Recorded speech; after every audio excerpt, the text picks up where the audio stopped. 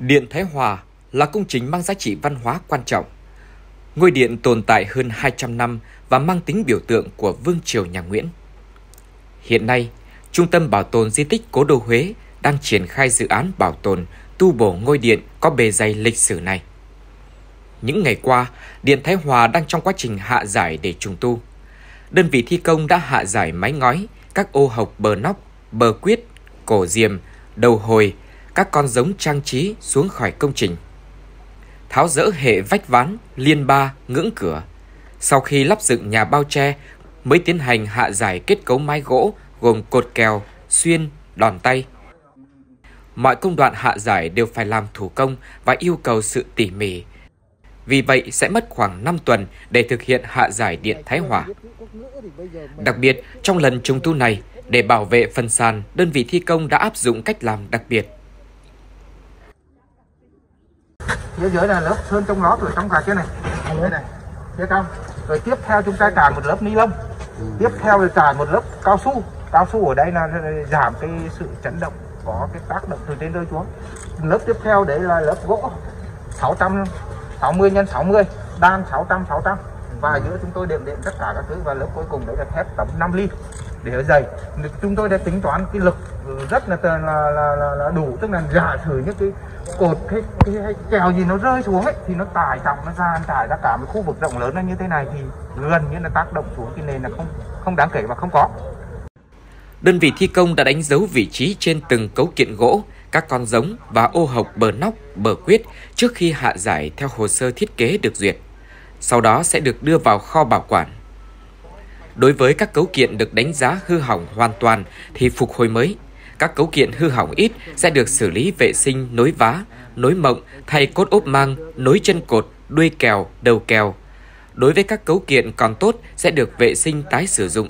Sau khi hạ giải xong toàn bộ công trình, đơn vị thi công sẽ tiến hành phân loại, đánh giá sơ bộ chất lượng các cấu kiện, sau đó trình hội đồng đánh giá di tích, xem xét và đưa ra giải pháp tu bổ.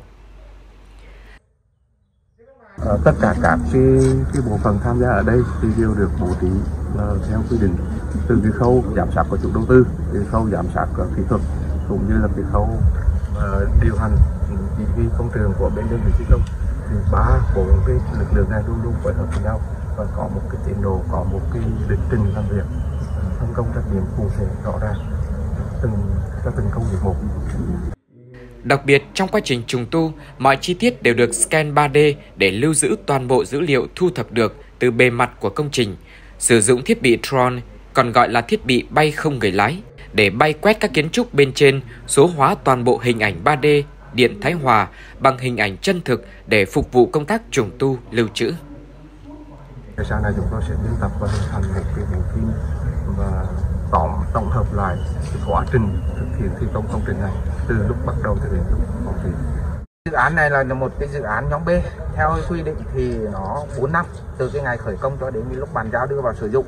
Nhưng đối với Điện Thái Hòa là một cái công trình mà phải nói rằng nó là điểm đến của tất cả các du khách thì chúng tôi sẽ dồn tất cả các cái nhân lực, vật lực và những cái kinh nghiệm của chúng tôi để đẩy nhanh cái tiến độ của công trình này thì khả năng là chúng tôi sẽ rút ngắn được một năm, tới khoảng 3 năm sẽ là xong cái công trình này.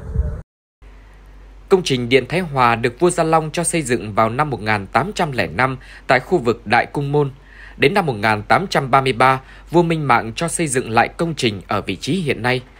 Trải qua hơn 200 năm tồn tại, trước các tác động của thời gian và khí hậu khắc nghiệt, mặc dù trải qua nhiều lần tu bổ, trùng tu dưới các triều vua Nguyễn, nhưng đến hiện nay Điện Thái Hòa bị xuống cấp nghiêm trọng.